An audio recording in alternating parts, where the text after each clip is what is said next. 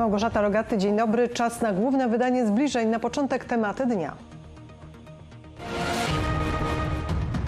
Rodzina w centrum uwagi. żłobki, przedszkola, kluby malucha, tak, żeby rodzice też mieli chwilę wytchnienia.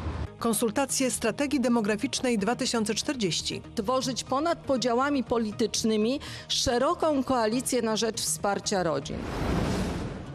W poszukiwaniu polskiej marki turystycznej. takich miejsc, które potrafią przyciągnąć turystów. ta architektura, jaka tutaj jest, no przyciąga. Bydgoska PESA dostarczy tramwaje do Rumunii. Nasze pojazdy się tam z całą pewnością bardzo dobrze odnajdą. Z roku na rok coraz mniej urodzeń w Kujawsko-Pomorskiem. Ten trend dotyczy zarówno miast, jak i wsi. Pułapce niskiej dzietności ma zapobiec rządowa strategia demograficzna 2040. Dokument zawiera szereg rozwiązań, które są konsultowane z Polakami. To twarde dane. W ostatnich pięciu latach liczba mieszkańców regionu spadła o 22 tysiące. Podobną tendencję obserwuje się też w innych województwach. W 2020 roku w województwie urodziło się 18 tysięcy osób. Jest to mniej o około 7% niż w roku poprzednim. By odwrócić trend spadku dzietności, zdaniem samych zainteresowanych potrzebne są odpowiednie warunki, komfort i poczucie bezpieczeństwa. Organizacja czasu, czyli chociażby żłobki, przedszkola, kluby malucha, tak, żeby rodzice też mieli chwilę wytchnienia, a mogli się, e, a, a dzieci miały odpowiednie zajęcia. Ważne jest też finansowe zabezpieczenie. Z dzieckiem tu mieszkać łatwiej. 500 plus, plus 300 do szkoły, jeszcze bon turystyczny e, wypłacą. Wzmocnienie rodziny, znoszenie barier dla chcących mieć dzieci i poprawa rządowo-samorządowych polityk społecznych to trzy filary strategii demograficznej 2040. Projekt opracowało Ministerstwo Rodziny i Polityki Społecznej. Silne państwo może być tylko oparte na takim stabilnym, silnym fundamencie, jakim jest rodzina. Oprócz kontynuacji programu Rodzina 500, strategia obejmuje zwiększenie elastyczności pracy, poprawę stabilizacji zatrudnienia czy rozwiązania zachęcające mężczyzn do korzystania z tzw. tacierzyńskiego, czyli urlopu dla ojców. To jest tak naprawdę dokument, który będzie wpływał na nasze życie przez kolejne dziesięciolecia. To to wszystko budujemy, żeby służyło jak największej ilości, szczególnie młodym pokoleniu i kolejnym pokoleniom. W dokumencie znalazły się też zapisy dotyczące opieki zdrowotnej, między innymi dla par borykających się z niepłodnością. Mamy świadomość łączenia się tych tematów, tych demograficznych z kwestiami zdrowia. Problemy demograficzne dotykają różnych obszarów kraju. Ze statystyk wynika, że Polacy opuszczają duże miasta, wybierając życie na wsi. Ale i tam liczba urodzeń maleje, bo przez lata, poza aglomeracjami, wielopokoleniowe rodziny żyły w trudnych warunkach. Przyszłość narodu zależy od liczebności kolejnych pokoleń i od jakości życia, y, w pewnym sensie możliwości rozwoju dla y, tych pokoleń, które żyją.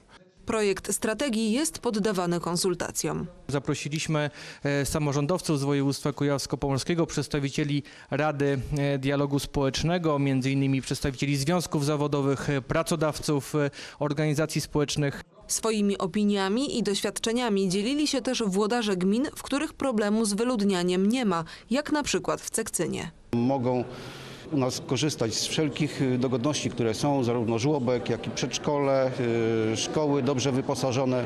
Y, Od kilku lat do przedszkola przyjmujemy wszystkie chętne dzieci bez żadnych ograniczeń. Strategia demograficzna 2040 i jej poszczególne programy mają objąć wszystkich członków rodziny. Rodzinę rozumiemy również w kontekście wielopokoleniowym. Rodzina jest w centrum uwagi rządu Prawa i Sprawiedliwości i dbamy także o seniorów. Minister Rodziny i Polityki Społecznej spotkała się z nimi w Brześciu Kujawskim, gdzie działają dwa kluby seniora. W całym regionie 66. Dzięki temu starsi mieszkańcy mogą rozwijać swoje zainteresowania. My się nie zastanowiliśmy nawet pięciu minut nad tym, e, żeby podjąć e, to wyzwanie i podjąć tą inicjatywę. Wyjście z domu w pewnym wieku, kiedy już tej aktywności zawodowej nie mamy, potrzebne jest, potrzebne jest, aby razem porozmawiać, pobyć ze sobą. Jagoda Rogatty, TVP3 Bydgoszcz. Ta inicjatywa ma pomóc w rozwoju turystyki. W Toruniu ogłoszono drugą edycję projektu Polskie Marki Turystyczne. O tytuł mogą ubiegać się organizacje, samorządy terytorialne i gospodarcze, fundacje oraz stowarzyszenia. Nabór wniosków rozpocznie się w pierwszym tygodniu sierpnia. O tym, komu przyznany zostanie tytuł, zdecydują organizacja turystyczna oraz Ministerstwo Rozwoju Pracy i Technologii. Tak wyglądał Toruń w ubiegłym pandemicznym roku. W tym czasie miasto odwiedziło 900 tysięcy turystów. W porównaniu z 2019 rokiem było ich ponad dwa razy mniej. A tak wygląda starówka toruńska dzisiaj. Turyści chętnie odwiedzają Gród Kopernika. Ta architektura, jaka tutaj jest, no przyciąga, przyciąga. No co jeszcze? Byliśmy na bulwarach toruńskich, już bardzo ładnie zrobione są. Wszystko można oglądać, wszędzie można się fotografować, no jest cudownie tutaj. Zainteresowanie turystów potwierdza liczba rezerwacji w hotelach.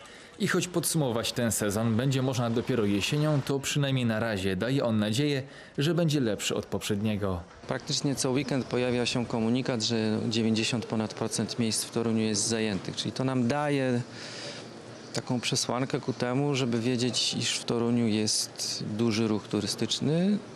Od dwóch, trzech tygodni on już nie tylko jest w weekendy, Więcej pracy mają także przewodnicy. W aktualnym sezonie turystycznym jeszcze trudno na jakiekolwiek szacunki, aczkolwiek mogę powiedzieć, że obserwuję takie ostrożne zainteresowanie usługami przewodnickimi i zwiedzaniem Torunia. Pojawia się coraz więcej telefonów i, i zapytań, pojawiają się też pierwsze wycieczki zorganizowane. Rozwój potencjału turystycznego wspiera projekt Polskie Marki Turystyczne. Jego celem jest m.in. promocja mniej znanych obszarów, które są ciekawe, godne polecenia i warte odwiedzenia. Takich miejsc geograficznych, turystycznych, miejscowości, które potrafią przyciągnąć turystów, które potrafią zostać w pamięci i aby mogły być godne polecenia następnym y, osobom. Druga edycja projektu została ogłoszona w Toruniu nieprzypadkowo. Miasto było w gronie pierwszych laureatów, którzy zostali uhonorowani tytułem Polskiej Marki Turystycznej w 2018 roku. Polska marka turystyczna pozwala otwierać zupełnie nową drogę promocyjną dla miasta. Jesteśmy wspólnie z Polską Organizacją Turystyczną y, tym podmiotem, który uczestniczy w przedsięwzięciach zarówno międzynarodowych, jak i krajowych, a więc targach, prezentacjach. Toruń to rzeczywiście polska marka turystyczna. E, Markowe usługi, markowe produkty wszystkim nam się dobrze ko kojarzą. Każdy jest dumny, jeżeli może z nich korzystać i Toruń może być dumny z tego, że na pewno jest polską marką turystyczną. To jest dla nas e, bardzo ważne. E, Toruń jest pięknym miastem, zabytkowym miastem, pełnym turystyki. O tytuł Polska Marka Turystyczna mogą ubiegać się m.in. organizacje, samorządy terytorialne i gospodarcze, a także instytucje, spółki, fundacje i prywatni przedsiębiorcy, których jednym z celów lub zadań statutowych jest promocja turystyki.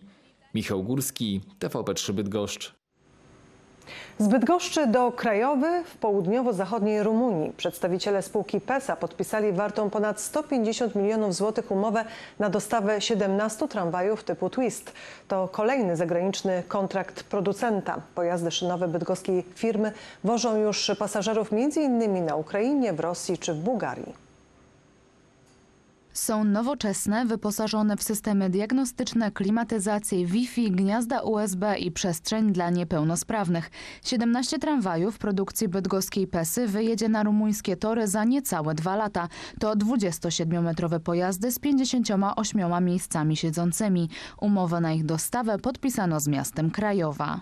Miasto bardzo e, przemysłowe, bardzo dobrze rozwinięte, wyremontowali, wyremontowana infrastruktura, także nasze pojazdy się tam z całą pewnością bardzo dobrze odnajdą. Zakup taboru jest częścią realizowanego przez władze miasta Krajowa projektu modernizacji transportu publicznego finansowanego z Regionalnego Programu Operacyjnego na lata 2014-2020. Celem programu jest m.in. ograniczenie emisji dwutlenku węgla poprzez inwestycje oparte na zrównoważonej mobilności miejskiej. To nie pierwsza współpraca między Pesą a Rumunią. Bydgoskie tramwaje jeżdżą już w Kluż. Trwa również produkcja pojazdów typu Swing dla Jasz. Spółka zakończyła już testy homologacyjne, a pierwsze tramwaje wyjadą z Bydgoszczy do Rumunii jeszcze w lipcu. PESA e, bardzo mocno czuje się w regionie w tramwajach. Przygotowujemy e, prawie co roku nowe rozwiązania, czy adoptujemy, czy stosujemy. E, I, I co najważniejsze, klienci to bardzo cenią. W sumie PESA wyprodukowała niemal 800 tramwajów, w tym ponad 170 na eksport. Wożą one pasażerów m.in. w Kijowie, Moskwie, Kaliningradzie, Sofii oraz większości polskich miast. PESA zadebiutuje również w słowackich Koszycach, dokąd trafi 30 nowoczesnych tramwajów. Monika Komisarek, TVP3 Bydgoszcz. To jest główne wydanie zbliżeń. Co jeszcze przygotowaliśmy dla Państwa? Drzewa do wycinki, kontrowersyjne decyzje urzędników. Radioteleskop w podtoruńskich piwnicach do naprawy. Jest wsparcie dla gmin, w których kiedyś funkcjonowały państwowe gospodarstwa rolne. Rządowe dofinansowanie w ramach Funduszu Inwestycji Lokalnych ma wynieść w kraju 250 milionów złotych. W regionie do PPGR-owskiej gminy Dobrcz trafiło 450 tysięcy złotych. dawały pracę i zapewniały bezpieczeństwo socjalne setkom tysięcy ludzi. 30 lat temu zaczął się proces likwidacji państwowych gospodarstw rolnych. Po kombinatach zostały opustoszałe budynki, bezrobotni pracownicy i znajdujące się w trudnej sytuacji finansowej gminy. Wiele z nich do dzisiaj nadrabia cywilizacyjne zaległości. Mieszkańcy Kusowa doczekają się budowy sieci kanalizacyjnej. Sołectwo dziękuję e, za takie wyróżnienie, że mogliśmy otrzymać tak wspaniałą inwestycję, jaka jest kanalizacja, pomimo, że mamy XXI wiek, ale e, nasza, e, nasze sołectwo właśnie tej kanalizacji najbardziej potrzebowało. Przedstawiciele władz gminy odebrali promesę na 450 tysięcy złotych, która pozwoli zrealizować długo oczekiwaną inwestycję. Wartość całego zadania to 675 tysięcy, dofinansowanie 450. Muszę się też pochwalić, że środki są już na koncie, także działa to naprawdę błyskawicznie. Wyrównywanie możliwości rozwoju w gminach popegierowskich obejmuje szereg działań finansowanych z Funduszu Inwestycji Lokalnych. W skali kraju jest to 250 milionów złotych. Wsparcie takich inwestycji jak chociażby budowa kanalizacji, tak jak tutaj w Dobrczu, e, budowa wodociągów, e, oczyszczalni, przepompowni. E, To są inwestycje związane chociażby z retencją, z budową dróg. Pieniądze przeznaczone są także na obiekty sportowe, domy seniora, żłobki czy przedszkola. Dobrcz, Edyta Starczewska. Dla jednych odpoczynek, dla innych szansa na zarobek. Latem uczniowie i studenci szukają okazji, by podreperować budżet. Najlepszym źródłem informacji o pracy sezonowej nadal są znajomi, portale internetowe i ogłoszenia w gazetach. Coraz więcej osób odwiedza także ochotnicze chówce pracy. W takich punktach młodzi ludzie otrzymają pomoc doradcy zawodowego, skierowanie na szkolenia, kursy czy praktyki zawodowe. Praca szuka człowieka. W sezonie wakacyjnym najczęściej rąk do pracy poszukuje branża gastronomiczna. Jak szacuje Izba Gospodarcza Gastronomii Polskiej w czasie lockdownu, zatrudnienie w tej branży zmniejszyło się o nawet 200 tysięcy osób. Jest dużo ofert, ale ciężko znaleźć dobrą pracę, że tak powiem. A z czego to wynika? Chodzi o zarobki? Też, ale myślę, że najlepiej nad morze. Nad morzem przede wszystkim stawki są wyższe, no i też jesteśmy nad morzem, prawda, a nie w mieście rodzinnym, więc to jest jakiś wypad zawsze. Pracy sezonowej najczęściej szukają młodzi ludzie. To idealne rozwiązanie na czas wakacji. Doświadczenie nie jest tak istotne jak dyspozycyjność i chęć do pracy. Roznoszenie ulotek, rozkładanie towarów w sklepach, zbieranie owoców, praca w produkcji. Oferty pracy sezonowej gromadzą i udostępniają uczniom m.in. ochotnicze chówce pracy. Dużo młodych ludzi stara się zarobić na e, swoje wakacje. Zgłaszając się do nas, może skorzystać z ofert pracy sezonowej. E, Są to zazwyczaj prace lekkie, nie wymagające specjalnych kwalifikacji. Ochotnicze chówce pracy pomagają osobom od 15 do 26 roku życia. Oprócz ofert pracy sezonowej uczniowie mogą skorzystać ze szkoleń i kursów. Pierwszym krokiem jest rozmowa z doradcą zawodowym. Jest wiele możliwości rozwoju, rynek y, w ogóle szkoleniowy, jak i pracy jest bardzo otwarty, więc to ukierunkowanie dla młodych osób, wsparcie w tym całym procesie jest naprawdę bardzo istotne. Ochotnicze chówce pracy pomagają szybko zdobyć zawód, znaleźć pracę i usamodzielnić się. Oprócz rozwoju zawodowego oferują też zajęcia pozalekcyjne i kulturalno-oświatowe dla osób od 15 do 18 roku życia. Nabór prowadzony jest do września. Zawsze można liczyć na nasze wsparcie, e, pomoc jakby w realizowaniu obowiązku szkolnego, ale również osoby, które do nas się zapiszą, mogą uczestniczyć w różnych akcjach, które prowadzimy. Są to dla tej młodzieży wszystkie akcje bezpłatne, także darmowo mogą korzystać z różnych wyjść, e, z uczestnictwa w imprezach kulturalno-oświatowych, sportowo-rekreacyjnych, no i w ogóle potrafimy zorganizować jakby im czas wolny. Centrum Edukacji i Pracy Młodzieży w Bydgoszczy cały czas poszukuje pracodawców, którzy chcieliby przyjąć młode osoby na staż lub praktykę, a także zatrudnić je w ograniczonym wymiarze godzin. Drzewa w regionie idą pod topór. Wycinki zaplanowano w Bydgoszczy, Toruniu i Brodnicy. To konieczne, tłumaczą swoje decyzje urzędnicy. Decyzje, które budzą sprzeciw mieszkańców. W bydgoskim Myślęcinku śpiew ptaków przeplata się z dźwiękami maszyn. Na obrzeżach parku rozpoczęła się budowa parkingu dla kierowców, którzy zostawią tu auto i pojadą dalej autobusem lub tramwajem. Powstający u zbiegu ulic Gdańskiej i Rekreacyjnej plac pomieści 125 samochodów i ma zmniejszyć ruch w centrum miasta kosztem ponad 80 drzew.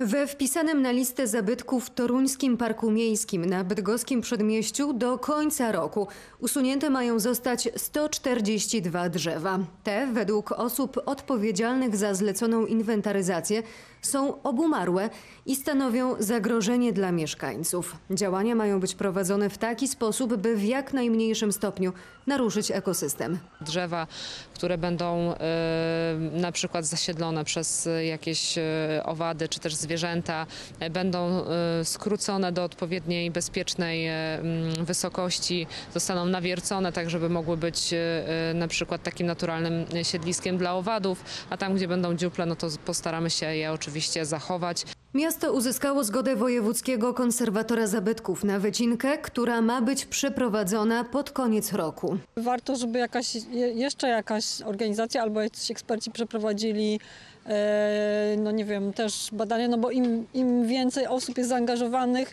i im więcej może potwierdzić, czy faktycznie to te drzewa wymagają wycinki, czy jednak coś można z nimi jeszcze zrobić. Mam nadzieję, że będzie coś w zamian tego dosadzone. Żeby to zrobić, chcielibyśmy już wiedzieć, czego ewentualnie unikać, czy jakich gatunków unikać, e, czy być może jest e, jakaś inna przyczyna tego, że te drzewa w parku miejskim e, obumierają. To już Brodnica i jej zielone płuce, czyli Park Miejski imienia Jana Pawła II. Często tutaj chodzicie? No często. Z pieskami często. Rewitalizacja tej przestrzeni ma pochłonąć 8 milionów złotych. Projekt zakłada m.in. wymianę ławek, lamp, całej instalacji elektrycznej, poza tym stworzenie placu zabaw oraz wyprofilowanie alejek oraz wycinkę. Około 80 sztuk drzew. Ale chciałabym zwrócić uwagę, że są to drzewa, gdzie głównie obwód tych drzew nie przekracza 40 centymetrów. Są to drzewa, które kolidują, właściwie są konkurencją dla tych okazów, e, które e, wieloletnich drzew. Projekt wywołał sprzeciw wśród części mieszkańców, którzy pytają, czy los drzew jest już przesądzony. Najlepiej jest jedną y, y, budkę lęgową powiesić na drzewie, to od razu jest już trudniej wyciąć to drzewo. Także się zastanawiamy, które kasztanowce tutaj uratować. W miejscu wyciętych okazów mają pojawić się nowe, wśród nich wierzby, dęby i jabłonie. Natalia Kurowska, TVP3 Bydgoszcz. Po gwałtownych burzach, które szalały w naszym regionie nie ma już śladu, zniszczenia natomiast pozostały. Uszkodzony został także radioteleskop w Obserwatorium Astronomicznym w Piwnicach. Najważniejsze urządzenie, które służy do tworzenia obrazów kosmosu. Największy radioteleskop w tej części Europy pozwala naukowcom tworzyć bardzo dokładne obrazy obiektów w kosmosie. Mierzy 32 metry i jest najważniejszym urządzeniem badawczym Instytutu Astronomii UMK w podtoruńskich piwnicach. To nie kosmiczne energie, a ziemskie wyładowania sprawiły jednak, że na razie jest niemal bezużyteczny. straciliśmy możliwość operowania teleskopem, O, oczywiście przejazdy możemy wykonywać, ale bez dokładnej wiedzy o położeniu. A bez tej wiedzy nie da się w ogóle e, zobaczyć czegokolwiek, e, cokolwiek na niebie, na falach radiowych. Naprawa spowodowanych przez burzę uszkodzeń będzie kosztowała nawet kilkadziesiąt tysięcy euro. Dużo trudniej wycenić straty naukowe. Teleskop jest częścią sieci radioteleskopów, e, tak w skrócie ta sieć nazywa się VLBI. Każda strata takiego punktu w sieci, takiego węzła sieci, powoduje, że cała sieć, głównie europejskich radioteleskopów, funkcjonuje gorzej. W najbliższym czasie radioteleskop ma wrócić do częściowej sprawności. Jego optymalne działanie będzie możliwe dopiero po zamontowaniu właściwego modułu kontrolującego położenie. Bartosz Stelmasik, TVP3 Bydgoszcz.